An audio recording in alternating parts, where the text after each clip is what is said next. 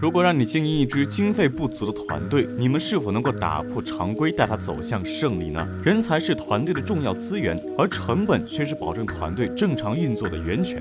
怎样在有限的成本完成无限的可能，这就要看管理者的经营艺术了。今天小麦就要为大家推荐《点球成金》这部电影，这是一位球队管理者在经费有限、人才有限的情况下，如何通过管理打破常规，让球队取得连胜记录的。影片开始，男主小帅是奥克兰棒球队的经纪人，他所领帅的球队在今年取得了优异的成绩。可是，在这次联赛结束后，球队内部三名全明星球员却被挖走了。想要在下次联赛再次取得好的成绩，已经不可能了。小帅来到老板办公室，也表明了想要好球员就需要增加费用。可是老板却说公司没有那么多钱，还让小帅竭尽所能去招募新球员，既要马儿跑，又要马儿不吃草，这让小帅感觉十分无奈。可是生活还得继续，所以他只能跟自己的团队商量，在这有限的经费里，球队还能找到什么优秀的球员。然而我们能够看到，这个团队里也就只剩男主小帅是年轻人了，甚至有些老人还带着助听器。几位老人根据自己的经验提供了一些方案。很显然，小帅自己并不认同这些方案，但是眼下球队也没有其他办法了。随后，小帅打扮得很帅气，来到其他球队洽谈球员引入的事情。就在他即将说服老板的时候，有位小胖子却在旁边悄悄说了些什么。之后，老板也就不愿放人了。小帅从办公室出来以后很生气，就去找了那个小胖子，质问他说了什么。原来这个小胖子是耶鲁大学经济学毕业的。随后，他用自己的理论跟小帅解释了一番。他认为球队需要购买的是胜利，而不是球员。其实有一些身价很低却有很高上垒率的球员，他们并不差。而一位经纪人真正应该购买的是上垒率，而不是全明星球员。小帅听后也觉得十分有趣。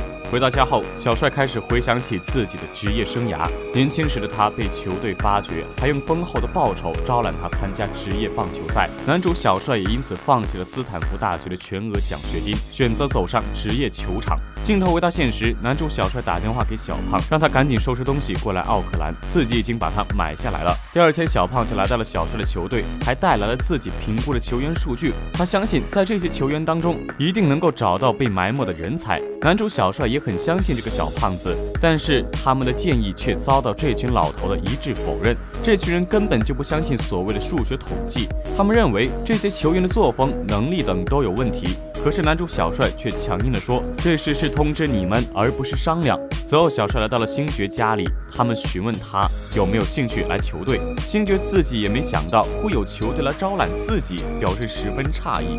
男主小帅将合同直接放在桌上就离开了。男主小帅每隔一段时间就回去看望自己的女儿。这天，他再次来到前妻家中，前妻嫁给了一位富豪，两人住在豪华别墅当中。三个人在房间里吐槽奥克兰球队，气氛显然有些尴尬。但是为了见到自己女儿，也只能忍了。随后，小帅带着女儿小美来到一家吉他店，看着小美弹吉他、唱歌的样子，小帅的眼眶不禁湿润了起来。在球队的路上，他回想起自己的职业生涯，可是他在职业赛场上的成绩并不如意。这边小帅还在想着自己的悲伤往事，球队的老头就来找他了。老头无法肯定他现在用数据来招人，他觉得男主小帅是想公报私仇，因为二十多年前某位球探看走眼了，所以小帅想要挑战这个制度。然而小帅却十分不满他的说法，就转身离开了。在经过小帅跟胖子的招募之后，他们开始了季前赛的训练。然而，小肚腩却根本不相信这些虾兵蟹将，他很直接的告诉男主小帅：“你找的这些人都是废物。”随后，季前赛开始了，男主小帅却在比赛开始后离开了球场。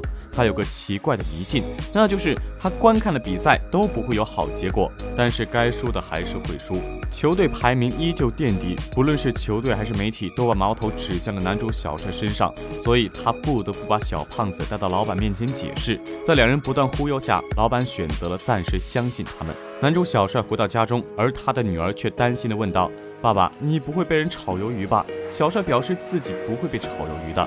正式赛开始，球队依旧还是输了，但是球队在休息室中依旧是开心的庆祝，这让男主小帅感到十分愤怒。他决定釜底抽薪，拿起电话就把教练喜欢的球员通通全部卖掉。小胖子也担心地问道：“我们这样做真的好吗？”I think the question we should be asking is, do you believe in this thing or not?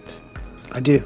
紧接着，小帅来到球队教练的办公室，当着他的面把最后一名他喜欢的球员给炒了。小帅和小胖每天都会跟自己招募的球员开会，大肚腩教练也没有办法了，他只能按照小帅选定的人员来安排战术。但是在这时，奇迹出现了，奥克兰取得了一波七连胜。小帅跟小胖开始乘胜追击，继续购买潜力股来补强阵容，而奥兰克也继续在不断连胜中，他们开始打破各种历史记录，全世界的人都在关注着这场奇迹，大家都是很好奇，这样一支球队到底能够连胜几场？十四连胜时，媒体开始大肆宣传他们的事迹；十六连胜时，教练开始相信这支球队；当他们取得十九连胜时，已经跟世界连胜纪录持平了，或许二十场连胜纪录也将由他们。打造出来，这让大家对于数据管理产生怀疑，因为这样一支球队就是由数据筛选出来的。就在奥兰克冲击二十连胜这天，原本小帅还是一如既往的离开球场，他不希望自己给团队带来厄运。可是，在女儿的劝阻下，他再次回到了现场。很巧的是，当小帅刚出现时，球队就犯了一个低级错误啊！真的是太邪门了！小帅赶紧转身就走。随着比分不断被拉近，男主小帅也显得十分紧张，他开始垂头丧气。就跟他当初放弃棒球时一模一样。然而比分还是被持平了。教练似乎已经听不到观众哀嚎，他眼神坚定地望向星爵，并让他上场拯救球队。第一个球似乎没有准备好，紧接着他眼神坚定，眼里只有那颗球，他击中了。这是一记全垒打。球队打破了世界纪录，取得二十连胜，他们创造了史无前例的纪录，所有人都在为这场胜利狂欢。然而，小帅却冷静地跟小胖说：“如果没有取得冠军，那一切将会毫无意义。”他想要改变棒球的游戏规则。随后，球队来到了季后赛，然而跟双城队的这场比赛中，他们还是失败了。赛后，媒体表示。虽然小帅没能改变大众的看法，但是却受到了其他球队的邀请。他来到波士顿红袜队球馆，但男主小帅已经跟原球队继续签订了合同，只不过是因为红袜队的名声才来赴约。红袜队老板觉得他现在已经打破了行业的规定，他用这么少的经费却打造出了这样一支一直连胜的球队，这样一支没有全明星的球队还打破了世界纪录。他觉得这样打破规矩的人必定会碰得头破血流。因为他这种行为已经威胁到背后大权在握的人了，所以现在哪个球队不按照他的模式重建，那就是顽固不化。而他也拿出一张支票摆在男主小帅面前，邀请他当球队经理。小胖也表示，小帅将会成为史上最贵的球队经理人，而有钱他就能够招募到更厉害的球员了。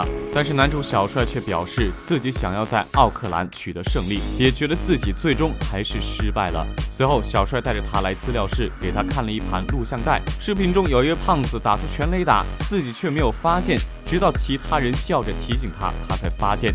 小胖子觉得他们所做的一切都是有意义的，他们所要做的就是发掘这些人才。最后，男主小帅还是选择留在奥克兰，而红袜队在两年后再次取得胜利，用的正是他们当年的数据理论管理。影片到此结束了。从这部影片中，我最大感触还是关于失败与成功的定义。有时候我们看起来像是失败了，其实是某种意义上的成功。